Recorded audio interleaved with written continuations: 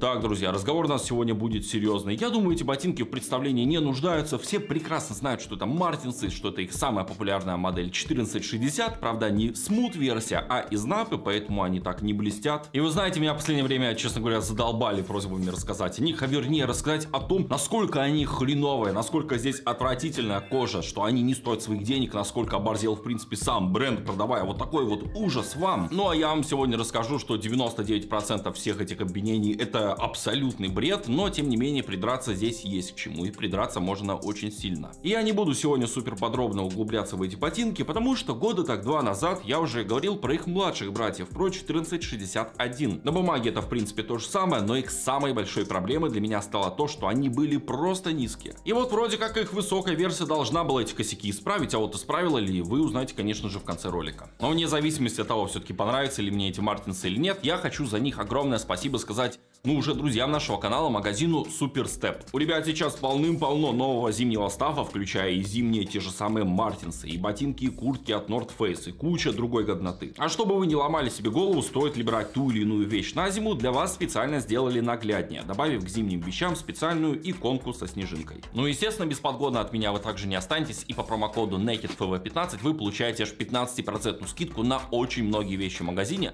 так что если вы еще не утеплились, то самое время это сделать делать. Безусловно, Мартина уже давным-давно стали культовыми среди миллионов самых разных неформалов по всему миру. Вы их видели в десятках клипов, реклам и фильмов. И аналогов у этих ботинок просто нет. Да, само собой есть те же самые Salaveyr или Grinders, но эти бренды являются больше производными от того дизайна, которые создали именно мартинсы. Именно они были первыми подобными ботинками с воздушной подошвой. Ну и что, давайте, пожалуй, начнем с нее. И это подошва Airwear, которая берет свое начало аж с 40-х годов. И это была первая, по сути, сути подошва, которая обеспечивала амортизацию частично с помощью воздуха, еще до того, как это начали делать Nike. Если смотреть более внимательно, то внутри этой полупрозрачной подошвы из ПВХ вы можете заметить соты. Именно благодаря этому решению в свое время эти мартинсы были революционно мягкими. По меркам сегодняшних дней это, конечно же, не супер впечатляющая мягкость, но в своем классе они все еще являются одними из лидеров. И да, будем честны, сама подошва не прослужит вам так долго, как какой-нибудь кусок цельной резины, например, того же самого Вибрама. Ну вот подумайте, Подумайте сами, эти мартинсы создавали в первую очередь для того, чтобы они были мягкими, это и главная фишка. А если бы сюда поставили какой-нибудь кусок цельной резины или вообще кожи, то какой в этом вообще бы был смысл, я не понимаю. Кроме того, этот желтый знаменитый шов здесь не просто так, потому что подошва приделана кверху по технологии Goodyear, но с одним отличием. Из-за мягкости ПВХ сама подошва к ранту не пришита, а приварена. Не приклеена, а именно приварена. Это очень важно. Но вы все равно скажете, что вот эта подошва шлак, что она одноразовая, ну можете посмотреть миллион роликов на YouTube о том, как обувные мастера меняют э, эту подошву вообще практически на что угодно, но, к сожалению, в мягкости они из-за этого потеряют. Двигаемся дальше и переходим к коже. Как я уже сказал, моя версия сделана из напы. Да, она не такая блестящая и броская, как кожа у смут версии, но она более податливая, более мягкая, и вы увидите здесь гораздо менее броские заломы. К тому же у нее нет такого агрессивного покрытия сверху, а потому к уходу с помощью всяких разных кремов она будет поддаваться лучше. И если хотите использовать мартинсы максимально долго, берите именно такую версию. Но если говорить про качество самой кожи, то она просто обычная. Да, технически она настоящая, но в сравнении с кожей на тех же самых вингах или ботинках на заказ она вообще не идет. Но и продукт это более массовый. По швам в этих ботинках все отлично, у меня вообще каких-либо вопросов нету, все сшито крайне аккуратно, без какой-либо хлипоты. Но есть один момент, которому я до сих пор не могу найти вообще никакого объяснения. Почему Мартинс не сделали здесь клапан до конца? Что им помешало сделать его нормальным? Вот, блин, блин, ей-богу, если бы они сделали его таким, как в тех же самых Редвингах, например, я не знаю, в этих Мартинсах можно Байкал там вброд переходить, а так вы получаете проходимость где-то до уровня первой пары люверсов, даже чуть ниже. Ну вот если говорить про меня, например, или про 99% зрителей, которые сейчас смотрят этот ролик, а вы вспомните, вы в городе когда последний раз переходили лужу, которая глубже, чем, не знаю, 5 сантиметров. Но если говорить про защиту от небольших луж или от дождя, то именно вот такого решения вам вполне себе хватит.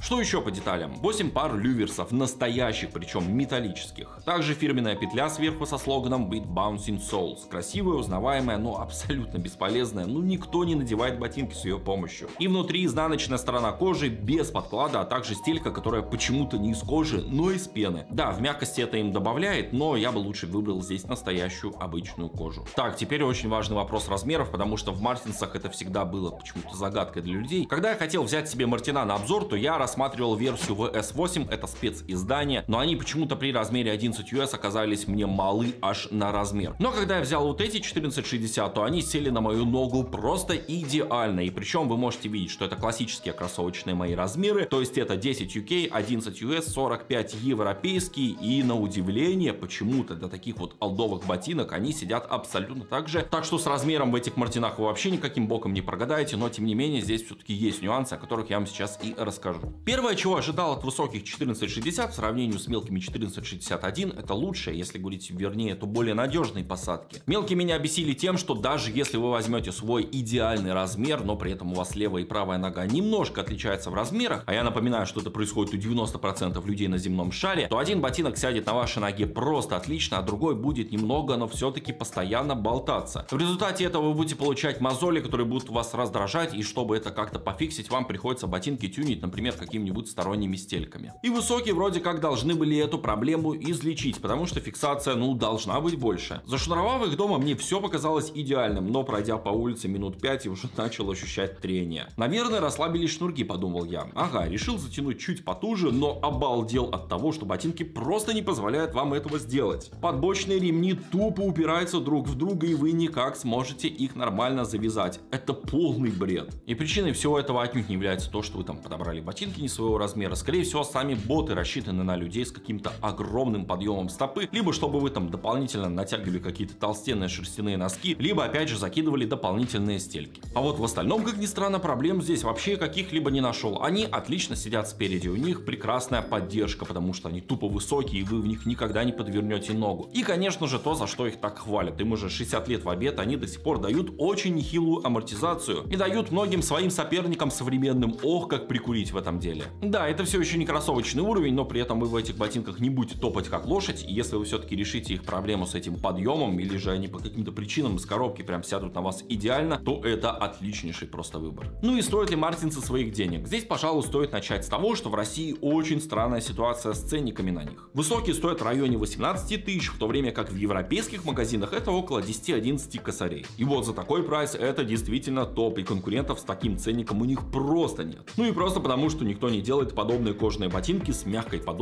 за 11 тысяч рублей. Ну а я лично их носить не буду, потому что я сейчас как-то больше по стритвиру и такие ботинки, но это тупо не мое. Ну а если вы ищете себе боты, которые будут супер универсальные, которые будут подходить под какой-нибудь неформальный или casual лук, то это один из самых лучших выборов на сегодня. А поэтому и такая оценка. Ну что, друзья, мне на этом для вас все. Как всегда, если вам понравился ролик, то с вас лайк, подписка, московская прописка. А вот эти мартинсы я буду продавать у себя в инстаграм аккаунте. Ссылку на него вы найдете в описании под этим роликом. Ну и что, ждите в будущем еще больше видосов. Сейчас вот зимний сезон уже начинается, будут и зимние ботинки, надеюсь, куртки тоже. Ну а про вот эти мартина мне добавить больше нечего. Боты хорошие, в целом советую, но, конечно же, лучше не за full прайс. И на этом точно все, и всем счастливо.